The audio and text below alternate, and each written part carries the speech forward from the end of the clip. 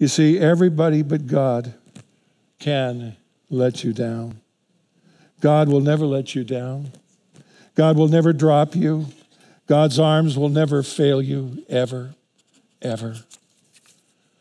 But I believe it, but believe it or not, do you know why? It's because there was one person who God's arms failed. Jesus Christ did not sin, but he was truly deserted. We just feel deserted. He was truly deserted because he was truly deserted. You will never be ever deserted. That's the reason why the psalmist can say, I will yet praise him. You see, do you right now say, Lord Jesus, I thirst? Can you say this? Can you say, My soul thirsts for, the, for God, for the living God?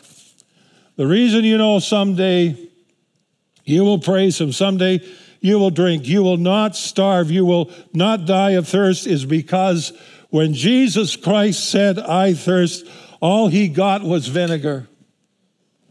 And if you say to the Lord, I thirst, I can tell you this you won't get vinegar, you won't get a sop because Jesus was truly deserted.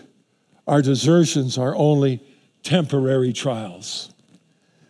With a glory, the one thing, you will, you will not only survive, but you will thrive in the presence of God and you will make it through.